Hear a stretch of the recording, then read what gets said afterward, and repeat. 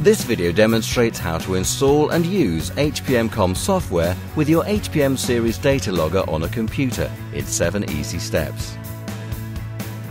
HPMComm software is available on disk and is also available to download from our website.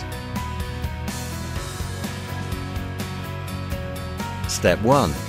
First, check that you have administrator rights on your computer and that the computer and operating system is compatible with the selected software. Step 2. Then either select the download prompt from the website or place the CD in the drive and follow the on-screen instructions.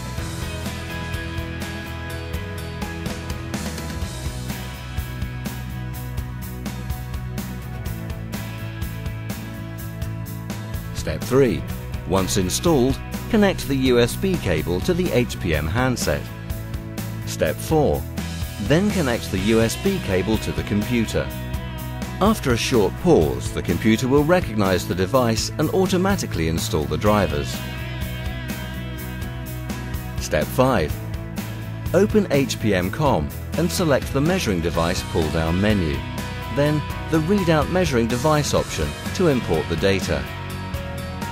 Step 6. To import test data from your data logger, simply select the required test file from the list.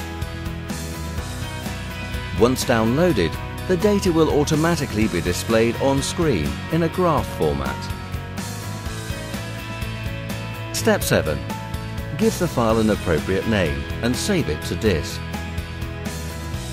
You're now ready to watch the next video in this series, Part 4, How to Analyze the Data.